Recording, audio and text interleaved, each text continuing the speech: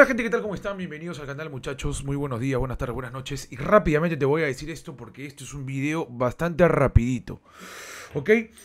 Alianza Lima enfrenta este Sporting Cristal esta eh, mañana, mañana el día literalmente sábado 9 Y es un partido a, muerte, tiene que ganar o ganar para tratar de mantenerse con vida en este torneo apertura que todo está demasiado ha sido demasiado cuesta arriba luego de la derrota contra ADT de Tarma. Entonces necesitamos ganar y y Restrepo intenta tener o tratar de colocar al mejor equipo que tiene. Pero lamentablemente hay un tema que, que, ha dado muchas vueltas sobre estas últimas horas y, es sobre el tema de Catriel Cabellos y el señor Franco Sanelato. Catriel Cabellos y Franco Sanelato no jugarán en Alianza Lima. Último minuto. ¿Qué pasa con este tema? Si te gusta este tipo de contenido, deja tu like, suscríbete al canal, hermano, y vamos a proceder con el video. ¿Qué pasa con el señor Franco Sanelato. ¿Qué sucede? ¿Qué ha sucedido con Franco Sanelato? ¿Y qué viene pasando últimamente con Franco que no puede, no puede terminar de jugar un partido entero? No puede. No puede terminar, ni siquiera de, de arrancar. Porque no arranca los partidos. Es un jugador que ha tenido que estar, que ha tenido que estar disputando encuentros y entre tumbones. Que o no arranca, sino aparece en los últimos 20, se cansa, no sé qué le pasa, no puede dar todo.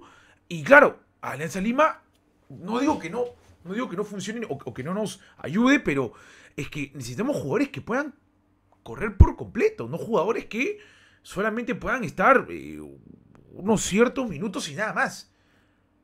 No nos puede servir un jugador que, que no va a poder disputar 90 minutos y que lo vamos a tener 20, 30. No nos sirve. Suena muy crudo, pero es la realidad. Hoy por hoy, Franco Sanelato, eh, la información que se maneja es que no estará ante Sporting Cristal y no jugará en Alianza Lima este encuentro, debido a lo que te estoy comentando eh, en este momento.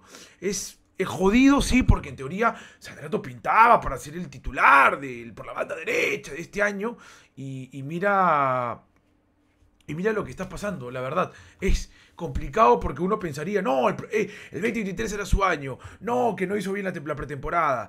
Y ahora, ¿cuál es la excusa, hermano? Porque yo sinceramente eh, no entiendo qué es lo que, lo que está pasando con, con, con Franco. La verdad que es, eh, es jodido. Hoy por hoy, Sanelato, la información que yo tengo es que eh, son duda para, es una duda para poder salir en el partido contra Sporting Cristal y lo más seguro es que no termine, no termine jugando, es, es, esa es una realidad. Ahora, no solamente eso muchachos, porque ahora hay otro tema más, que lo de Sanelato es uno, porque ahora también pasa el tema de Catriel Cabellos. ¿Qué pasa con Catriel? Catriel que vendría siendo el jugador, para mí, eh, más joven, de, revolucionario del equipo que tiene Alianza. Para mí incluso me gusta más Catriel que, el propio Gaby Costa. Me gusta más la intensidad que te mete, que te mete Catriel, la presión alta, la, intensidad para recuperar la pelota. Eh, es, es, como la gente tenía un grano en el culo para los, para los volantes de rivales, ¿no? Y, claro, hoy por hoy no tienes a, a, Sanelato, para, a Sanelato ni a Catriel para que puedan disputar este tipo de partidos, ¿no? ¿Es una lástima? Sí, claro que es una lástima.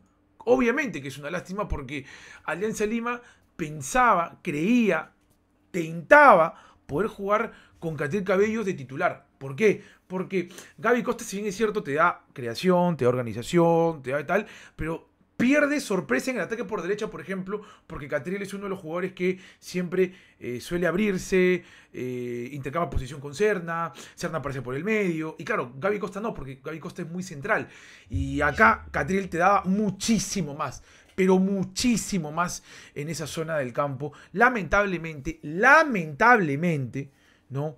Para intereses en general, eh, Cabellos tiene una molestia del partido contra Unión Comercio y como te lo comentaba a inicio de semana, lo más seguro es que no sea convocado para el partido ante Sporting Cristal. Una lástima, ojalá que, que, que, desaparezca apenas de Feria del Dragón y, este viernes se logre recuperar, pero lo más seguro es que no termine jugando. Y justamente, Restrepo que lea esta intensidad, el que sí terminaría jugando por la posición de Gaby Costa y de Catriel sería el señor Jesús Castillo para tapar las salidas de Sporting Cristal. Esa es la información que tenemos hasta el momento. No jugarán en Alianza Lima ante Sporting Cristal. ¿Crees que es una baja importante? ¿Crees que no? ¿Crees que se puede, se puede reemplazar con algunos jugadores? Yo te leo en los comentarios y como siempre, arriba Alianza toda la vida. Cuídate mucho. Chau, chau.